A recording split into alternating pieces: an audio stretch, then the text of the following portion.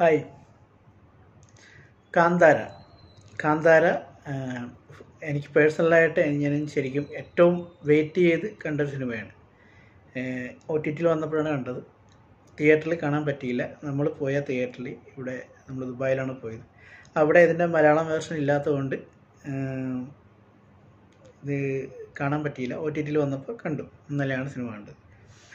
Expectation ഒട്ടും വെറുതെ ആയില്ല. കാര്യം നമ്മൾ അത്രത്തോളം ഈഗർലി വെയിറ്റിംഗ് എന്നൊക്കെ പറഞ്ഞ പോലെ തന്നെ ഒ ടി ടി വരാൻ വേണ്ടി വെയിറ്റ് ചെയ്തിരിക്കുമായിരുന്നു ഭയങ്കരമായിട്ട് സെർച്ച് ചെയ്തൊക്കെ തന്നെയാണ് ഇത് കണ്ടത്. ഇപ്പോൾ ഈ സിനിമ കാണാനുള്ള ഫസ്റ്റ് മോട്ടീവ് എന്ന് പറയുന്നത് ഇതൊരു കന്നഡ മൂവി ആയതുകൊണ്ടാണ്. എന്തുകൊണ്ട് കന്നഡ മൂവി കണ്ടു എന്ന് തോന്നിയ ഇപ്പോൾ കന്നഡ മൂവീസ് ഞങ്ങൾ നഴ്സിംഗ് പഠിക്കുന്ന കാലം തുടങ്ങി നമുക്ക് അത്യാവശ്യം കന്നഡയൊക്കെ അറിയാം. കന്നഡ മൂവീസിന്റെ ഒന്ന് രണ്ട് സിനിമകളൊക്കെ അവിടെ എവിടെയും കണ്ടിട്ടുണ്ടെന്നല്ലാണ്ട് സിനിമകൾ നമ്മൾ വേറെ ഒന്നും കണ്ടിട്ടില്ല. കാര്യം കന്നഡ മൂവി ശരിക്കും അങ്ങനെ ഒരു മൂവി തന്നെ ആ ഒരു അവരുടെ ഒരു മൂവി ഇൻഡസ്ട്രി തന്നെ ഏറ്റവും താഴേക്ക് പോയിക്കൊണ്ടിരിക്കുന്ന സമയത്ത്. ഒരു നിലവാരം ഇല്ലാണ്ട് ചുമ്മാ കുറേ കച്ചറപ്പടങ്ങൾ ഉണ്ടാക്കി. താഴേക്ക് പോയി അങ്ങനെ ഒരു ഫിലിം ഇൻഡസ്ട്രി തന്നെ അവസാനത്തിലേക്ക് പോകുന്ന സമയങ്ങളിലാണ് എന്താ പറയണ്ടേ? നമ്മുടെ ഇടിമിന്നൽ പോലെ കെ ജി എഫ് ഫസ്റ്റ് വരുന്നത്. കണ്ടല്ലോ കെ ജി എഫ് ഫസ്റ്റ് എന്ന് പറയുന്നത് അതും കെ ജി എഫ് ഫസ്റ്റ് അവിടെ ഇറങ്ങി അത്ര ഹിറ്റായെങ്കിൽ പോലും നമ്മൾ മലയാളികൾ അത്രത്തോളം അതിനെ ഒരു അത് അറിഞ്ഞിട്ടുണ്ടായില്ല. കെ ജി എഫ് ഫസ്റ്റ് ശരിക്കും എല്ലാവരും അങ്ങനെ അറിഞ്ഞിട്ടുണ്ടായില്ല. എല്ലാവരും ചിലപ്പോൾ കണ്ടിട്ടുണ്ടായില്ല. മിക്ക ആൾക്കാരും K G F two two വന്നതിന് ശേഷം കെ ജി എഫ് ഫസ്റ്റ് കണ്ട ആൾക്കാരുണ്ട്. അല്ലെങ്കിൽ ഇത്രയും ഒരു ഫെമിലാരിറ്റി വന്നതിന് ശേഷം അല്ലെങ്കിൽ അത്രയും ഒരു പോപ്പുലാരിറ്റി അതിന് കിട്ടിയതിന് ശേഷമാണ് ഇത് കണ്ടത്. ഇപ്പം ഞാൻ കെ ജി എഫിനെ പറ്റി ശരിക്കും ആദ്യം അറിയണത് പൃഥ്വിരാജ് സുകുമാരൻ ഒരു ഇന്റർവ്യൂവിൽ പറയണ കേട്ടാണ്.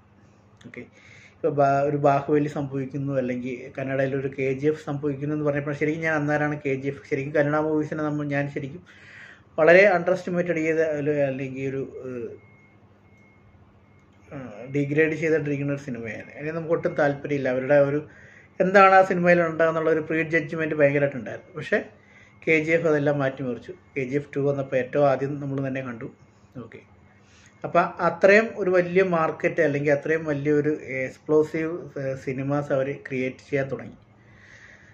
സിനിമയുടെ വലിയ മാർക്കറ്റുകൾ ക്രിയേറ്റ് ചെയ്യപ്പെട്ടു. എസ്പെഷ്യലി കൊറോണയ്ക്ക് ശേഷം.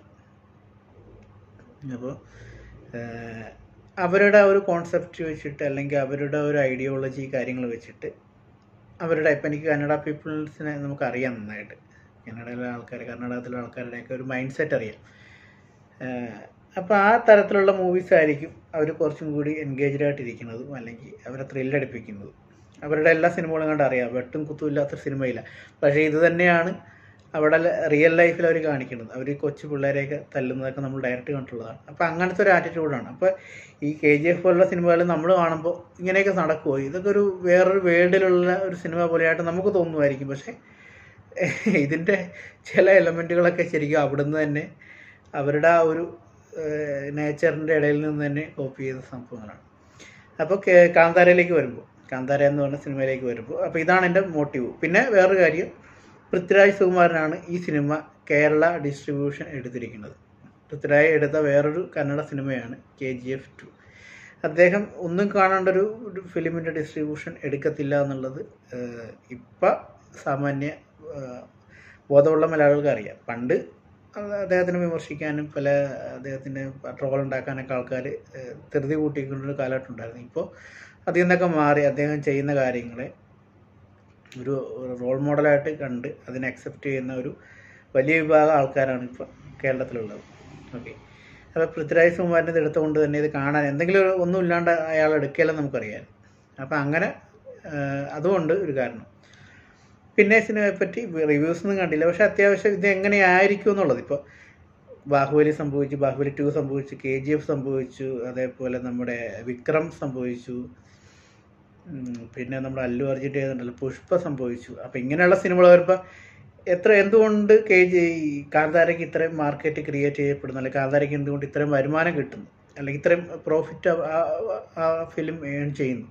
അപ്പം നമുക്ക് ഊഹിക്കാം എന്തൊക്കെയായിരിക്കും എന്നെ സംഭവിച്ചിട്ടുള്ളത്. പക്ഷേ അത് തന്നെ നമ്മൾ ഞാൻ ഊഹിച്ച പോലെ തന്നെ. പിന്നെ ഇതിനകത്ത് കുറച്ച് കാര്യങ്ങൾ കണ്ടെന്ന് കോലം കെട്ടുന്ന പരിപാടികളൊക്കെ ഉണ്ട്. നമ്മുടെ ശരിക്കും ഈ സിനിമ കാണുന്നതിന് മുന്നേ അല്ലെങ്കിൽ കണ്ടതിന് ശേഷം എനിക്ക് തോന്നിയൊരു കാര്യം ഈ സിനിമയായിട്ട് കണക്ട് ചെയ്യുന്ന പല എലമെൻസും നമുക്ക് ഇതിനു മുന്നേ ഉണ്ടായിട്ടുണ്ട്.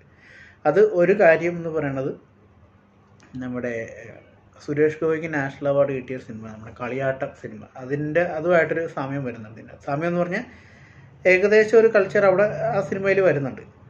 പിന്നെ ലാലിന്റെ ഒരു സിനിമ നമ്മുടെ കണ്ണകി എന്ന് പറഞ്ഞ സിനിമയുണ്ട്. അതുമായിട്ടും ഏകദേശം സാമ്യം വരുന്നുണ്ട്. പിന്നെ പന്തേക്കോഴി എന്ന് പറഞ്ഞ നരേന്റെ പഴയൊരു സിനിമയുണ്ട്. നരേൻ ആദ്യകാലത്ത് ഒരു സ്റ്റാറായിട്ട് അഭിനയിച്ചിട്ടിരുന്ന സമയത്തുള്ളൂ. ഇപ്പോൾ നരേൻ സ്റ്റാറായിട്ടൊന്നും അഭിനയിക്കാറൊന്നുമില്ല. നായകനായിട്ടൊന്നും വരാറൊന്നുമില്ല. പിന്നെ പുഷ്പ എന്ന് പറഞ്ഞ സിനിമയുടെ ഒരു ബാക്ക് ഡ്രോപ്പ് എനിക്ക് ആ ഒരു പശ്ചാത്തലം ഇത് കാണിച്ചിരിക്കുന്നത് ആ സ്ഥലങ്ങളും കാര്യങ്ങളൊക്കെ അതുമായിട്ടും കണക്ഷൻ വരുന്നുണ്ട്. പിന്നെ അത് ക്യാരക്ടറിന്റെ ഒരു ദേശി ഹീറോ മോഡൽ അതൊക്കെ നമ്മൾ പലതും കണ്ടിട്ടുണ്ടെങ്കിലും പുഷ്പയിൽ കാണിച്ചിരിക്കുന്ന പോലെ തന്നെയുള്ള ഒരു പക്ക ദേശീയ ഹീറോ. അത് അതിന്റെ ആ ഒരു മോഡലിങ് അതിന്റെ ഒരു കോസ്റ്റ്യൂംസും ആ ഒരു നേച്ചറും കാണിച്ചിരിക്കണതൊക്കെ ഇതുമായിട്ട് എനിക്ക് സാമ്യം തോന്നി. ഇപ്പം എല്ലാ സിനിമയും എന്തെങ്കിലും ഒരു പർട്ടിക്കുലർ യൂണിക് മോഡലിൽ ഒരു സിനിമകൾ വരാറില്ല. എന്തെങ്കിലുമൊക്കെ സമയം വരും. കാര്യം എത്രത്തോളം സിനിമകൾ നമ്മൾ കാണുന്നുണ്ട്. അത്രയും സിനിമകൾ ഇന്ത്യയിൽ ഇറങ്ങുന്നുണ്ട് പിന്നെ ഇന്ത്യ എന്ന് പറയുന്നത് പല കൾച്ചറിൽ രൂപപ്പെട്ട ഒരു രാജ്യം കൂടിയാണ്. പല കൾച്ചർ ഇഷ്ടമായ കൾച്ചറുള്ളതാണ് അപ്പോൾ എന്തെങ്കിലും ഒരു എല്ലാം ഒരു ബേസ് വണ്ണിൽ നിന്ന് തുടങ്ങിയതായിരിക്കും. അപ്പോൾ എന്തെങ്കിലും സാമ്യം എല്ലാ കാര്യങ്ങളും വരാറുണ്ട്.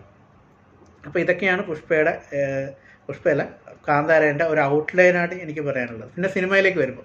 ഋഷഭ് ഷെട്ടി എഴുതി ഡയറക്റ്റ് ചെയ്ത സിനിമയാണ് വിജയ് കൊറിയാണ്ടറോ അങ്ങനെ ഒരാൾ പ്രൊഡ്യൂസ് ചെയ്തിരിക്കുകയാണ്. പക്ഷേ അത് അവർ പ്രൊഡ്യൂസ് ചെയ്തിരിക്കുന്നത് ഹോംബാല ഫിലിംസിന്റെ അണ്ടറിൽ തന്നെയാണ്. ഹോംബാല ഫിലിംസ് എന്ന് പറയുമ്പോൾ അറിയാം കെ ജി എഫ് ഒക്കെ പ്രൊഡ്യൂസ് ചെയ്ത സിനിമ. ഇപ്പോൾ ടൈസൺ പൃഥ്വിരാജ് ഡയറക്റ്റ് ചെയ്ത് പൃഥ്വിരാജ് തന്നെ നായകനാകാൻ പോകുന്ന ടൈസൺ എന്ന് പറഞ്ഞ സിനിമയും എഗ്രിമെന്റ് ചെയ്തിരിക്കുന്നത് കോമ്പാല ഫിലിംസാണ്. കോമ്പാല എന്ന് പറയുമ്പോൾ അവർക്ക് അത്രത്തോളം ക്യാഷ് ഉള്ള ടീം തന്നെയാണ്. കെ ജി എഫിന്റെയൊക്കെ മുടക്ക് മുതലും അതിന്റെ കിട്ടിയതെന്ന് നമുക്കറിയാം. അതേപോലെ തന്നെ കാന്താര ഏകദേശം വൺ സിക്സ്റ്റി ക്രോർ നൂറ്റി അറുപത് കോടിയോളം മുടക്കി ചെയ്ത പടമാണ് അതിന്റെ ഓവറോൾ ഗ്രോസ് എന്ന് പറയുന്നത് ഏകദേശം നാനൂറ് കോടി ക്രോസ് ചെയ്ത് കഴിഞ്ഞു.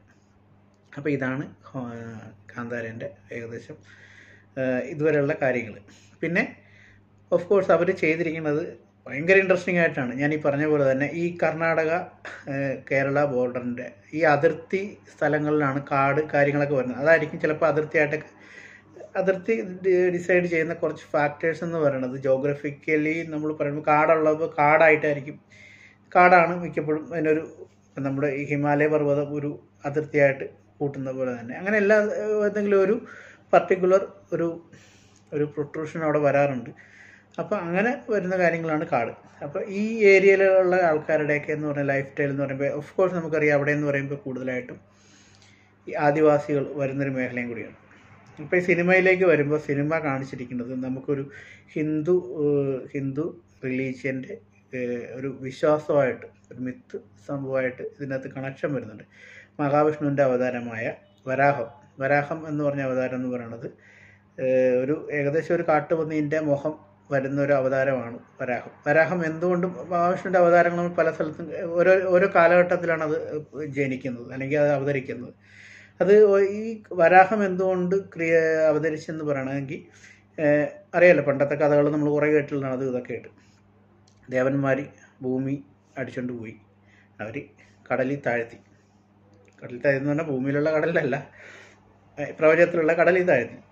അപ്പോൾ അതിനെ പൊക്കിയെടുക്കാൻ വേണ്ടി അതിനെ രക്ഷിക്കാൻ വേണ്ടിയിട്ട് അവതരിച്ചതാണ് വരാഹം. വരാഹം വരാഹത്തിന്റെ ഫോട്ടോ ഒക്കെ നമുക്ക് കണ്ടറിയാം. ഭൂമിനെ ഇങ്ങനെ മൂക്കിലാണ് ഇങ്ങനെ എടുത്തുകൊണ്ട് രക്ഷിച്ചുകൊണ്ട് വരുന്നത്.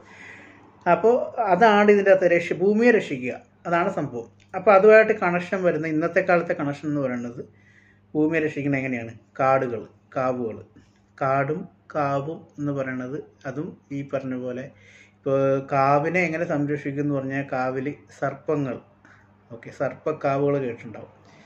ഇതിനെ സംരക്ഷിക്കലാണ് ഇന്നത്തെ കാലത്ത് വരാഹത്തിന്റെ അല്ലെങ്കിൽ വരാഹത്തിന്റെ ഓരോ കാലഘട്ടത്തിലും മാറി മാറി വരുമ്പോഴുള്ള വരാഹങ്ങളുടെ ഒരു ദൗത്യം അല്ലെങ്കിൽ അതിലൂടെയുള്ള ഒരു മെസ്സേജ് എന്ന് പറയുന്നത് അതാണ്. അപ്പോൾ ഇതാണ് ഈ സിനിമയ്ക്കകത്തിൽ കാണിച്ചിരിക്കുന്നത്. ഭൂമിയെ സംരക്ഷിക്കുക അല്ലെങ്കിൽ കാവുകളെ സംരക്ഷിക്കുക. പിന്നെ ഈ സർപ്പക്കാവുകൾ എന്തുകൊണ്ട് സംരക്ഷിക്കണം? അതിന്റെ ഒരു സയന്റിഫിക് വശം എന്ന് പറയണത് ഈ സർപ്പങ്ങൾക്ക് വിഷമുണ്ട് അറിയാലോ? അപ്പോൾ ഈ കാട് അല്ലെങ്കിൽ അന്തരീക്ഷത്തിലുള്ള വിഷം വിഷങ്ങളെ സ്വയം വലിച്ച് ശരീരത്തിൽ സേവ് ചെയ്യുന്നതുകൊണ്ടാണ് സർപ്പങ്ങൾക്ക് വിഷമുള്ളത്. അപ്പോൾ ഒരു കാടുള്ള സ്ഥലം എന്ന് പറയുമ്പോൾ എപ്പോഴും നല്ല ശുദ്ധവായു കിട്ടും. അതുകൊണ്ടായിരിക്കാം കാടുള്ള സ്ഥലങ്ങളിൽ ശുദ്ധവായു ഉള്ളത്. അപ്പോൾ ആ ഒരു മിത്തിൽ ഫോക്കസ് ചെയ്തുകൊണ്ട് അതിനെ കൂട്ടുപിടിച്ച് എഴുതിയ ഒരു കഥയാണിത്. ഓക്കെ. കഥാപാത്രമായിട്ട് വരുന്നത് ഋഷഭ് ഷെട്ടി. ഋഷഭ് ഷെട്ടിന്റെ ഈ നമ്മൾ കണ്ടത് ഈ ഈ നമ്മുടെ ഈ എന്താ പറയുക കെ ജെ ഫിലിപ്പ് പോലെ തന്നെ ഋഷഭ് ഷെട്ടിന്റെ അമ്മയായിട്ടൊക്കെ വരുന്നത്. അച്ഛൻ അച്ഛന്റെ ഹിസ്റ്ററി എന്ന് പറയുമ്പോൾ അമ്മയായിരിക്കും ഈ ഇതേപോലുള്ള കട കഥകളിൽ മെയിനായിട്ട് കൂടെ മോന്റെ കൂടെ ഉണ്ടാകുന്നത്. അച്ഛൻ ഇതേപോലെ എന്തെങ്കിലും ഒരു ഇൻസിഡന്റിൽ അല്ലെങ്കിൽ ഒരു എന്തെങ്കിലും ഒരു ത്യജിക്കൽ ആയിട്ട് മാറുന്ന ഒരു കഥയാണ് വരുന്നത്. അപ്പോൾ ഇതിനകത്ത് വരുന്നത് ഈ ഋഷഭ് ഷെട്ടിയുടെ അച്ഛനായിട്ട് ഈ കോലം കെട്ടി.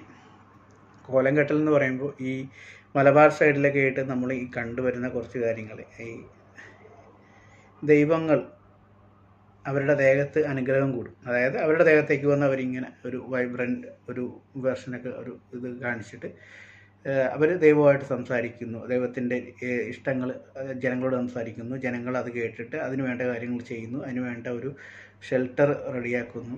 അങ്ങനെയുള്ള അറിയാലോ അമ്പലങ്ങൾ പണിയുന്നു. ഇതൊക്കെയാണ് ഇതിന്റെ അകത്ത് വരുന്ന കാര്യങ്ങൾ. ഇങ്ങനെയാണ് ഈ നമ്മുടെ ഈ കൾച്ചർ പോയിക്കൊണ്ടിരിക്കുന്നത്. അപ്പോൾ ഈ ഇത് എയ്റ്റീസിൽ കാണിക്കണം. എയ്റ്റി എയ്റ്റി സെവന്റീസിൽ കാണിക്കുന്ന ഒരു കഥയായതുകൊണ്ട് തന്നെ എത്രത്തോളം ഒരു കോടതിന്റെ ഭാഗത്തു നിന്നുള്ള ഒരു സപ്പോർട്ടൊന്നും ഇല്ലാത്തൊരു കാലഘട്ടത്തിന്റെ കാര്യമാണ് ഇവർ കാണിക്കുന്നത്. അപ്പോൾ അതുകൊണ്ട് തന്നെ ഈ എന്താ പറയുന്നത് ഋഷഭ് ഷെട്ടിയുടെ അച്ഛൻ ഇതേപോലെ കോലം കെട്ടി നിൽക്കുന്ന സമയത്ത് ആരോ അപമാനിക്കാൻ ശ്രമിക്കുമ്പോൾ പുള്ളി സ്വയം പുള്ളിയുടെ ജീവൻ ത്യജിക്കുവാണ്. ആ സിനിമയിൽ കാണിക്കുന്നത് മാഞ്ഞു പോയി അല്ലെങ്കിൽ മായാവിയായി പോയി എന്നുള്ളത് ആ ജീവൻ ത്യജിക്കുമ്പോൾ ആ ജീവൻ ത്യജിച്ചെങ്കിൽ പോലും അതിന്റെ ഒരു ശക്തി അവിടെ ബാക്കി വെച്ചിട്ടാണ് പുള്ളി പോകുന്നത്. അതായത് പുള്ളി വീണ്ടും വന്നിട്ട് അടുത്തൊരു തലമുറയിലേക്ക് ആരെയാണ് ഡെവലപ്പ് ചെയ്തെടുക്കേണ്ടത്? കാര്യം ഈ കാവുകൾ സംരക്ഷിക്കപ്പെടണം അപ്പോൾ അത് പറ്റിയ ഒരാളെ കിട്ടി അവരിലേക്ക് എനർജി സേവ് ചെയ്ത് അവരെ കൊണ്ട് ഓരോ കാര്യങ്ങൾ ചെയ്യിക്കുക അല്ലെങ്കിൽ അവരിലൂടെ നടപ്പിലാക്കുക. ഓക്കെ ഞാൻ ഈ പറഞ്ഞ പോയിന്റുകൾ ഇന്ന് ഇതാണ് ഇതിന്റെ ശരിക്കും ഇന്ന് ഇന്നത്തെ കാലത്ത് നടന്നുകൊണ്ടിരിക്കുന്ന കുറേ കഥകളുടെയൊക്കെ ബേസിക് ചിലപ്പോൾ ഇതാകാം. എനിക്കറിയില്ല. പക്ഷെ ഞാൻ ഇതിനെപ്പറ്റിയൊക്കെ കുറേ അന്വേഷിച്ചിട്ടുണ്ട്. ഞാനിപ്പോൾ ഞാൻ വർക്ക് ചെയ്യുന്ന ഡിപ്പാർട്ട്മെന്റ് ഇങ്ങനത്തെ ഒരു ഡിപ്പാർട്ട്മെന്റ് ആയതുകൊണ്ട് തന്നെ ഇങ്ങനെയുള്ള പല കാര്യങ്ങൾ ഇപ്പോൾ ഒരാളുടെ അനുഗ്രഹ ദൈവത്തെ അനുഗ്രഹം കൂടുമെന്ന് പറയുമ്പോൾ ദൈവം ദൈവമായിട്ട് സംസാരിക്കേണ്ടി വരുമ്പോൾ അത് അവർ തന്നെ ദൈവമായിട്ട് മറ്റുള്ളവരോട് സംസാരിക്കുക. അല്ലെങ്കിൽ അവർ വിശ്വസിക്കുന്ന ഒരു ഉപദൈവമായിട്ട് സംസാരിക്കുന്നു. ഞങ്ങൾ ജനങ്ങളോട് പറയണം നിങ്ങളുടെ വിഷയങ്ങൾ ഇതൊക്കെയാണ്. നിങ്ങൾക്ക് ഇത് ചെയ്തു കഴിഞ്ഞാൽ ഈ പരിഹാരങ്ങൾ ചെയ്തു കഴിഞ്ഞാൽ ഈ ക്ഷേത്രങ്ങളിൽ പോയി കഴിഞ്ഞാൽ നിങ്ങൾക്ക് ഇങ്ങനെയൊക്കെ സംഭവിക്കും. ഇതിന്റെ പരിഹാര മാർഗങ്ങൾ ഇതൊക്കെയാണെന്ന് പറയുമ്പോൾ. പക്ഷെ ആ സമയത്ത് ഇവരുടെ ഒരു വൈബ്രന്റ് ആയിട്ടുള്ള ഒരു മൂവ് ബോഡി മൂവ്മെന്റും സംസാര രീതിയും കാര്യങ്ങളും വരുമ്പോൾ ഇപ്പോൾ എനിക്ക് പേഴ്സണലായിട്ട് ഞാനിത് ഒത്തിരി ഇതിനെപ്പറ്റി എൻക്വയറി ചെയ്തിട്ടുണ്ട്. ഞാനിത് കൂടുതൽ എൻക്വയറി ചെയ്തിരിക്കുന്നത് എന്റെ എനിക്ക് സൈക്കോളജി സൈക്കാട്രി ഡിപ്പാർട്ട്മെന്റ് ബന്ധപ്പെട്ട ഡോക്ടേഴ്സുമായിട്ടാണ്. അപ്പോൾ അവരെ ഇതിനെപ്പറ്റി എന്നോട് പറഞ്ഞ കാര്യങ്ങൾ ഇത് നമുക്ക് പ്രൂവ് ചെയ്യാൻ പറ്റാതെ അല്ലെങ്കിൽ നമുക്ക് അറിയാത്ത ഒത്തിരി കാര്യങ്ങൾ ഈ ഭൂമിയിലുണ്ട്. അപ്പോൾ അതിനെപ്പറ്റി അഭിപ്രായം പറയാൻ നമ്മൾ ആളല്ല. എല്ലാ കാര്യങ്ങളും നമുക്ക് ഉത്തരം ഉണ്ടാകണമെന്നില്ല. അപ്പം അപ്പോൾ അതിനകത്ത് എന്ത് സത്യമുണ്ടോ ഇല്ലയെന്നോ എനിക്കിപ്പോഴും അറിയില്ല. അപ്പം ഞാൻ പറഞ്ഞു വരുന്നത് ഇത്രേ ഉള്ളൂ. ഈ സിനിമ എന്ന് പറയുന്നത് ഇങ്ങനെയാണ്. ഇതിന്റെ ഋഷഭ് ഷെട്ടിയുടെ ഫാദർ ഇതേപോലെ ഹോമോണ്ണ ഹോമോ സ്വയം ജീവൻ ത്യജിച്ചിട്ട് പുള്ളി അവിടെ അവിടെ ഒരു ആത്മാവായിട്ട് നിൽക്കുവാണ്.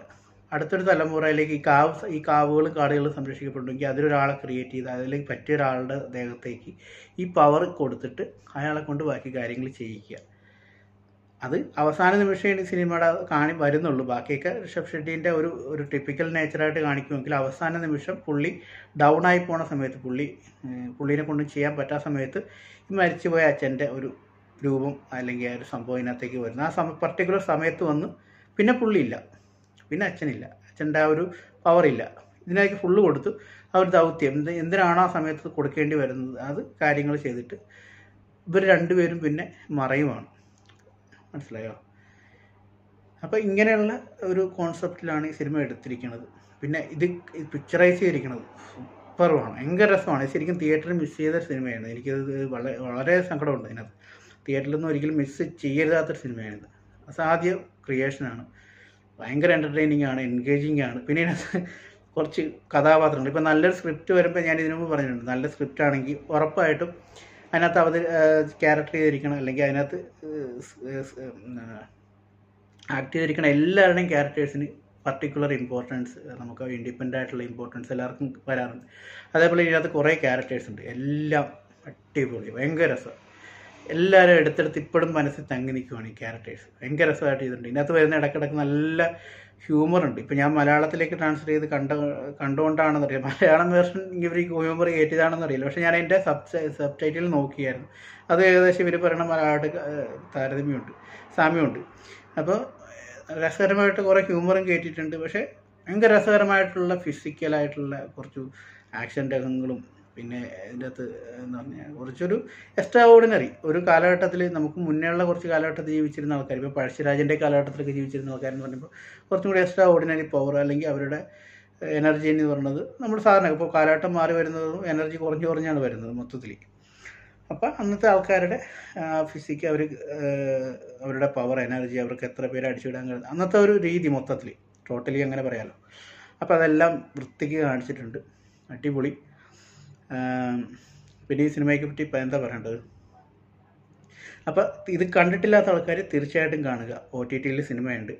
തീർച്ചയായിട്ടും കണ്ട് രസിച്ച് അല്ലെങ്കിൽ ആസ്വദിച്ചിരിക്കാവുന്ന സിനിമയാണ്. എല്ലാവർക്കും കാണാം. ഇതിനകത്ത് ഞാൻ ഈ പറഞ്ഞ എലമെന്റ്സ് എന്നൊക്കെ എന്ന് പറയുന്നത് ആൾക്കാരെ ത്രസിപ്പിക്കുന്ന രീതിയിലുള്ള എലമെന്റ് ചേർത്തെങ്കിൽ പോലും ഈ സിനിമ ബേസിക് ഒരു ഇമോഷൻ ഫാമിലി ഒരു ഒരു കൾച്ചറൽ ഡ്രാമയായിട്ടാണ് എനിക്ക് തോന്നിയത്. ഭയങ്കര ഒരു എക്സൈറ്റഡ് എക്സൈറ്റ്മെന്റും ത്രില്ലിങ്ങും എല്ലാം കൂടിയായിട്ടുള്ള. അപ്പോൾ ഇതിനകത്ത് ഋഷഭ് ഷെട്ടിനെ മാത്രമേ എനിക്ക് ശരിക്കും ആ പിന്നെ വേറെ ആളുണ്ട് നമ്മുടെ പുലിമുരുകന്റെ അകത്ത് വരുന്ന കിഷോർ. പുലിമുരുകന്റെ അകത്താണ് തോന്നുന്നു മൂപ്പര് വരുന്നത്. ഫോറസ്റ്റ് ഓഫീസറായിട്ട് ഒരാൾ വരുന്നുണ്ട്. മൂപ്പര് ഇതിനകത്തും അതേ റോൾ തന്നെ ചെയ്തിരിക്കണം അടിപൊളിയായിട്ട് ചെയ്തിട്ടുണ്ട്. അത് ചില റോളുകൾക്കൊന്നും ആൾക്കാരെ മാറ്റാൻ പറ്റത്തില്ല. അത് നമ്മുടെ മനസ്സിൽ പതിഞ്ഞു പോണ കുറച്ച് റോളുകളാണ് അപ്പോൾ ഇത്രയൊക്കെയാണ് സിനിമയെ പറ്റി ബേസിക്കായിട്ട് പറയാനുള്ളത്. ഞാൻ പറഞ്ഞ മെസ്സേജ് ഇത്രയേ ഉള്ളൂ. അപ്പോൾ കാണുക. ഓക്കെ